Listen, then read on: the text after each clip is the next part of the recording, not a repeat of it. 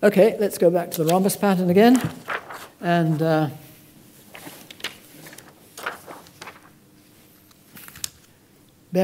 memorize that pattern. And here is a rather finer one. I hope you can see the rhombuses all right. I'm afraid there's some places where it's got a little worn, but that is indeed what it is. Of course, you see, I, I, I did these things all by hand, but uh, of course now the computer people take over and they can make much more impressive pictures than I ever could. So that's a computer picture. Um, I'm going to show you another computer picture. You can go even finer than that. Now that is rhombus pattern.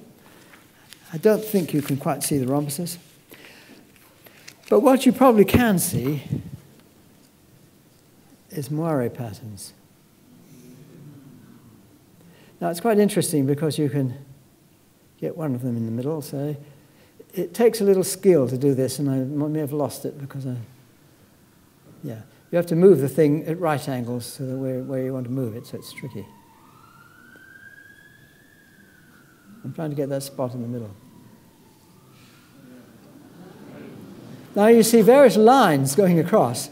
Those lines are the places where the patterns differ. Where they agree are the spaces in between. Now, there's another spot. Let's try that one. I'm not sure I'm getting any better at it, but I'll try.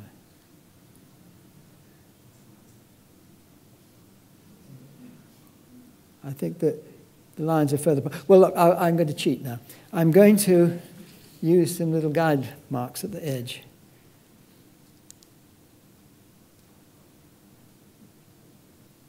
Now, I'm not sure that I can get it accurately enough. It's quite hard to do. Ah, yes. You may see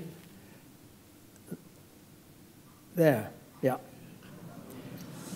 It agrees everywhere except along those lines there. And if I move it far enough away, I can make the patch where it agrees as, bigger, as big as you like. I think I might just try one more here whether I can actually find the right marks. I'm not sure. I marked the edge here to, to try and find it. Let's, I hope that's perhaps it. Yeah.